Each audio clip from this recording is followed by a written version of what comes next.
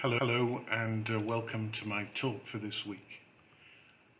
It's taken me a while to consider how best to do this talk, and I've decided that what I'm going to do is to read a statement by the primate and also a prayer that has been recommended to me by Archbishop MacDonald, who, as most of you will know, is our National Indigenous Archbishop.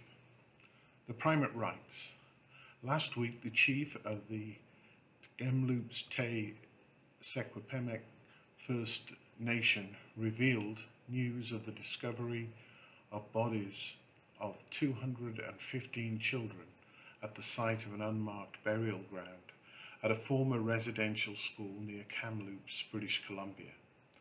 The identities of the children are unknown at this time. The grief of families and communities unleashed by this news is heart-wrenching and profound. There have long been stories told in Indigenous communities of children who disappeared or never returned home from residential school and whose parents were never told what had happened or given an opportunity to receive their bodies for community ceremony.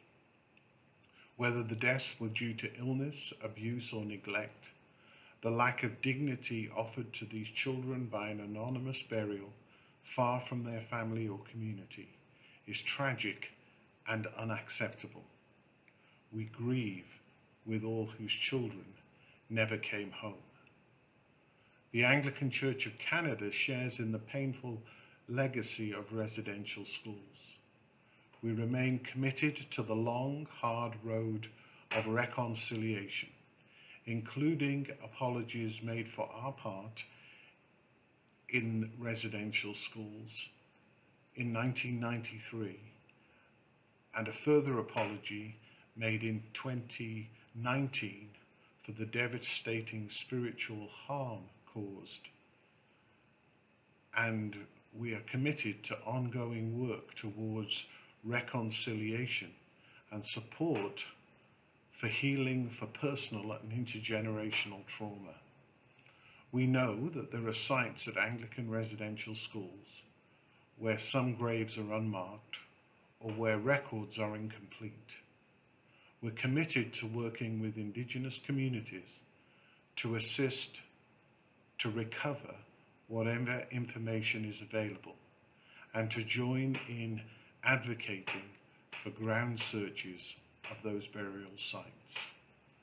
At the heart of our faith is the life of Jesus who said, let the children come to me.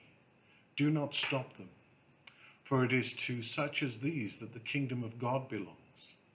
Truly I tell you, whoever does not receive the kingdom of God as a little child will never enter it. And he took them up in his arms and laid his hands on them and blessed them. The neglect of the dignity of children whom Jesus welcomed and protected calls for repentance in action. We, as Anglicans, commit to working with Indigenous communities, leaders and elders to heal this legacy and honour the lives of the children who never went home. Archbishop MacDonald suggested the use of the prayer for holy innocents.